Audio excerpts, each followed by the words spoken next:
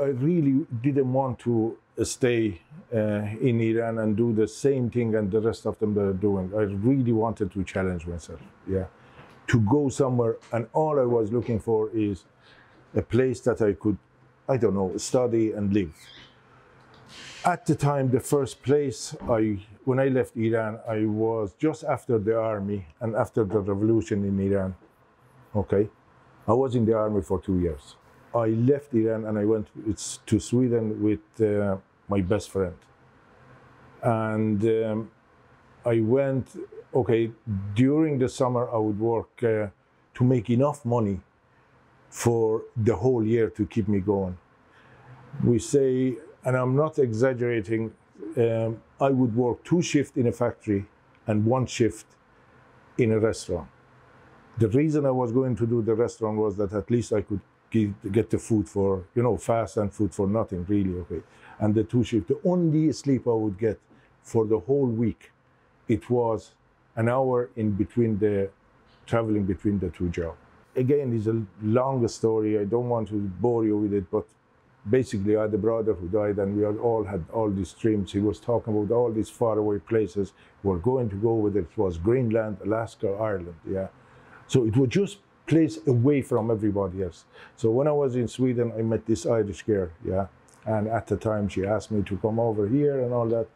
So I came here for a very short holiday for two weeks and go back.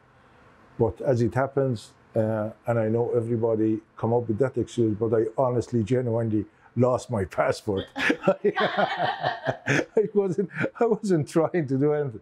Just anyhow. So I uh, then I ended up I couldn't go back home because we had a revolution. They wouldn't know whether I was a member of the regime. Couldn't back go to Sweden because I had no passport. So I stuck here, yeah. And I had um, really very little money, almost no English or anything like that. So I ended up um, in, um, believe it or not, in Barna, uh, not far away where the shop is, um, in this house which was overlooking the bay. So I could see the boats coming and going, yeah. And um, again, as I say, I really had very little money and no language. So I decided to go get books from Hynes Building, children books, and come and I asked my family to send me a dictionary. Um, and then I started kind of, because there was no place to learn any English or anything like that. Then I started learning English, and then, as I say, I could see the boats coming and going. Um, and I went, um, I made up the sentence, I looked at the whole thing. Um, for years, the, the, fishermen, they were slagging me because I was looking for the captain rather than the skipper. Well, that was the thing. So um, then I got the job in there uh, with the, one of the boats and I started fishing with the lads from Connemara, which uh, again, that's where I learned my, most of my English. So I had the problem even with the accent I used to talk like that, like the Connemara people, and then I had to go and get elocution lesson to sort it all out. Yeah. I'm joking. Yeah, Connemara people. I love Connemara people. They're the best in the world. But to be honest, again, that's what I say. Where I learned the English. Yeah. So it just accent was something else. Something else. Everybody fished with me. They know I fished for two years. But every single day that I went out, I was seasick. I never got used to it. And then as regards the business, it just, it was one of the way you could stay in the country.